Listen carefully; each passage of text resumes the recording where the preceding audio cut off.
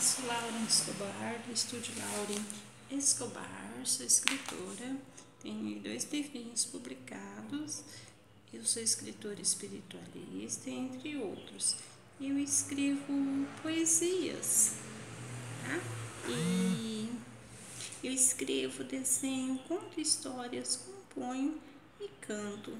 Eu canto para criança e canto hinos. Vamos ler agora uma bela poesia? Então vamos lá.